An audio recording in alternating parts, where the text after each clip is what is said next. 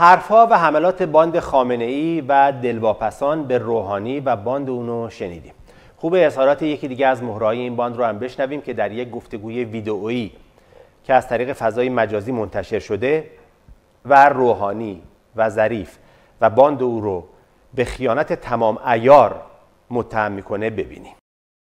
اگه شما اینا برجامی امضا کردن که صفرم نمی‌گیره خب چطور الان می‌خوایم وارد بحث های مذاکرات موشکی بشیم و می‌خوان اجازه از نظام بگیریم؟ خیانت تمام عیاره با من همین موضوع صحبت کردن و گفتم که آقا دو دو تا می‌شود چهار تا. آقای فرانسه آقای پنج به اضافه یک و آقای از همه مهمتر آقای حسن روحانی و آقای جواد ظریف. فرض بر این بگذاریم که ما قبول می‌کنیم که قسمتی از برنامه موشکی خودمون رو خلاص بکنیم. مثل برجام عرض کنم سرمایه ثروت ملی هسته خودمون رو ول کردیم.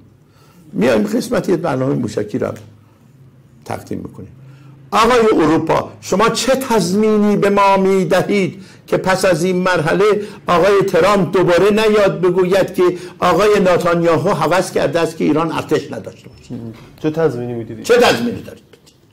مذاکره یعنی تضمین کردن تعهدها. شما از حالا به ما بگید چه چه تضمین در کار است که این آدم دیوانه آقای ترامپ که جز ناتانیاهو هیچ کس در جهان نمی‌تونه درک بکنه. این بیا و بعد از اینکه موشکی رو ما تحویلش دادیم موشک تحویلش دادیم نیاد و نگوید و این خطرناکه که آقای ناتانیاهو حوض کرده است که ایران اصلا ارتش نداره از سمت غرب. این بحث‌های موشکی چرا مطرح میشه؟ آیا در نهایت به دنبال حذف جمهوری اسلامی هستن. یعنی جمهوری اسلامی فرو بپاشه. ببینید.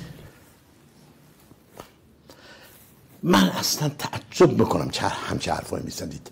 از زمان مصدق به این ور اونقدر قرائاتی کردن و دست انگلیس تو کار است و فلان این همه ملت ایران فکر می‌کنه که یه چیزهایی برنامه ریزی شده. شما چیکار به اون دارید؟ شما خودت حفظ بکن. همین لحظه همین امروز. اینا چی می‌خوان؟ خیلی چیزا می‌خوان. شما نباید بدید. بنده الان اینجا نشستم. تو عالم خودم در این حوث هستم که یک کاری بکنم که شما را از این پله ها پرت بکنم. شما نمی‌تونید بگی آدم شیطان صفتی است که همچین چیزی فکر می‌کنه. شما باید حواست باشه که کسی نتونه همچین کاری بلای سر شما بیاره. کلات محکم میگی باد نبره ما ملتی هستیم تمام زندگی ما به تعارفات هست. تعارف هم که می‌دونی دروغیاته. ما فکر می‌کنیم عالم سیاست هم عالم تعارفات هست. چی اینا چی فکر می‌کنن؟ هر چیز می‌خوان صرف فکر می‌کنن به من چه که چی فکر می‌کنن من باید کلامو صرف نگه داشتم.